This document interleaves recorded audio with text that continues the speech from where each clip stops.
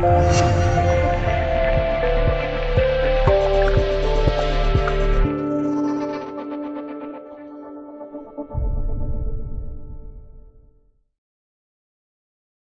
超首轮结束后，曼联核心博格巴再度放话，引发争议。他表示，曼联和法国队不同，而自己需要空间和信任。有人认为，悍将在暗示这两点在曼联不具备，所以才造成自己上赛季发挥不佳，或是在提醒穆帅要更加信任自己。而在世界杯期间，穆帅虽然认可博格巴的表现，并认为有出色发挥，是因为他很专注于比赛。很多人认为穆帅这话也是另有深意，毕竟博格巴在世界杯上的表现要优于上赛季，将帅失和是大忌。两人的言论也引发了外界的各种猜测，因为本赛季是穆帅执教的第三个赛季，如果不冠的话，则可能有危机出现。而博格巴显然是球队的第一利器，发挥出色且稳定的话，才可能和曼城等强队争夺到联赛冠军。从首轮的过程中看，曼城还是优于其他球队，红魔赢得也并不容易，所以接下来需要更好的调整状态，以期待迎来本赛季第一场酣畅的胜局。红魔能否夺冠，主帅和博格巴是关键。事实上，悍将和穆帅的矛盾并不大，只是穆帅性格强势一些，他更喜欢谦虚和听话且攻守兼备的球员，而且比较钟爱老将。博格巴的性格比较直接，面对媒体的话也会被各方引身后，造成一些内部有分歧的现象。如果博格巴更懂得管住嘴巴的话，对于球队是更为有利一些的。博格巴还指出一点，开心和信任会让自己竭尽全力，反之不开心的话就无法竭尽所能。这样的言辞的确有点可笑。只能说，当初曼联纳入博格巴的时候，没有考虑到他个性的负面效应。这样的球员其实可以和定时炸弹相比。博格巴是很信服法国主帅德尚的，所以穆帅想要本赛季夺冠的话，不妨取取经。切尔西之前的门将库尔图瓦也是典型的大嘴巴，每次面对媒体都会让各方认为他有离队的想法，每次如此无一例外，给球队带来负面的影响。今夏已经如愿转会皇马，所以切尔西也不再会受到大嘴巴球员的困扰，而曼联则还要继续承担这份压力。曼城阵中没有面对媒体信口开河的球员，所以现在的蓝月亮不仅仅实力占优，队内的团结也是群雄所羡慕的。此外，就是对冠军的渴望很迫切，尤其是欧冠奖杯，所以球员们在球场上力拼，且会以大局为重。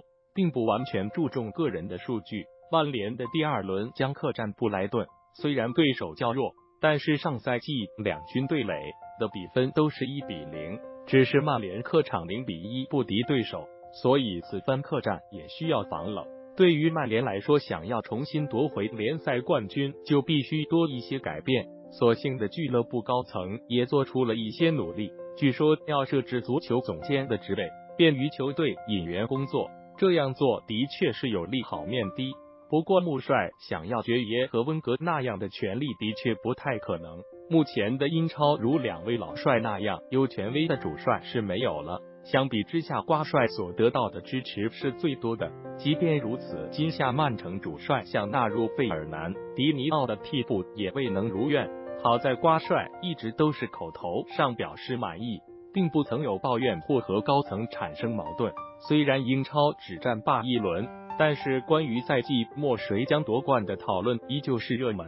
曼城拿下阿森纳之后被各方看好，但是球队想要超过上赛季百分夺冠的确不易，而且英超近十年没有球队能连续夺冠，瓜帅想要冲破这道关口也不易。上一次英超连续夺冠是零六至零九赛季，曼联完成三连冠。之后夺冠的球队依次是切尔西、曼联、曼城、曼联、曼城、切尔西、莱斯特城、切尔西、曼城。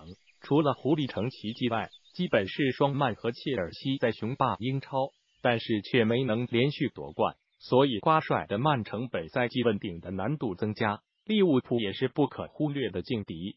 不过回看近十年诸强登顶的战绩，当属曼城上赛季强势。拿下所有英超对手，并对个别争冠对手完成双杀。小集团的战绩也是最好的，这一点如果延续强势效率的话，就是本赛季连续夺冠的最大利器。近期社区盾和英超首轮两场比赛，曼城先后拿下切尔西和阿森纳，两强都是今夏新帅上任，这也是伦敦双雄本赛季极难威胁曼城的一个原因。